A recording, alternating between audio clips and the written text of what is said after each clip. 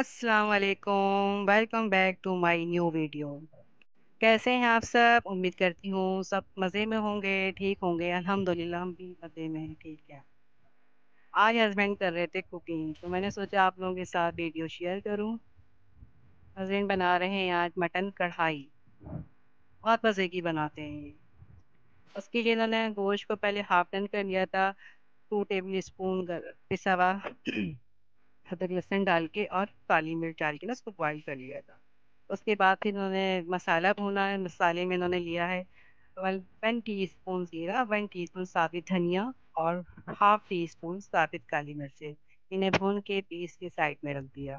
اس کے بعد انہوں نے ٹماٹر بوائل کرے ہلکے سے تاکہ اس کا چھلکا آرام سے اتر جائے۔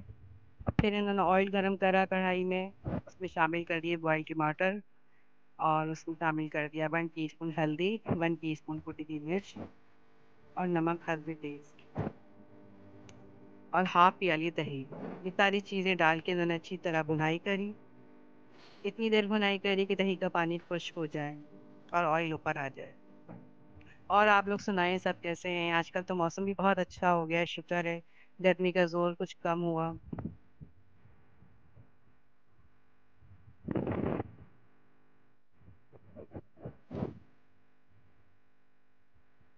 اس کی اچھی طرح بنائی، جب اچھی طرح بنائی ہوگی تو اس میں انہوں نے شامل کر دیا تھا بوائل گوشت۔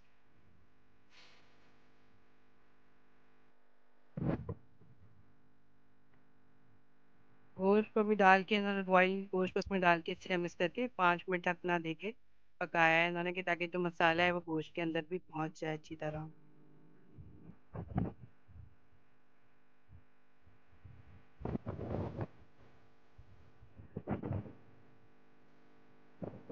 یہ ریسیپی بہت اچھی ہے، آپ لوگ ضرور ٹرائی کریے گا۔ بہت اچھی بنتی ہے کڑھائی۔ چاہے آپ چکن میں بنائیں، چاہے بیف میں بنائیں، چاہے مٹن میں بنائیں سر سے آپ جس میں بھی بنائیں گے بس مزے کی بنیں گے۔ بس پانچ منٹ پکنے کے بعد انہوں نے پھر اس کو بھونا اچھی طرح اور اس میں بھی شامل کر دیا، کٹی ہوئی ادرک اور جو مسالہ میں نے بھون کے پیس کے رکھا تھا، وہ بھی اس میں شامل کر دیا اور کسوری میتھی ڈال کے پانچ منٹ دم رکھا کڑھائی تیار ہو گئی۔ اس کڑھائی کو ہم نے گھر کی سادی روٹیوں کے ساتھ کھائی تھی۔ اور ساتھ میں میں نے رائتا بھی تیار کر لیا تھا۔ رائتا ضرور بناتے ہیں۔ کڑھائی کے ساتھ ہم لوگ زیرا اور کالی مرچ کا نے رائتا تیار کرا تھا۔